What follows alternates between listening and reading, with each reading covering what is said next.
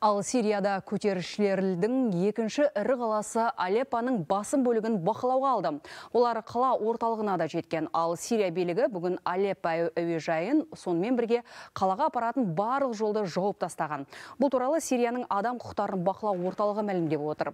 Хая Тахрир Әш-Шам қарулы тобының күштері Сирия үкіметінің бақылауындағы аудандарға өткен сәрсенбіде шабуылды бастаған.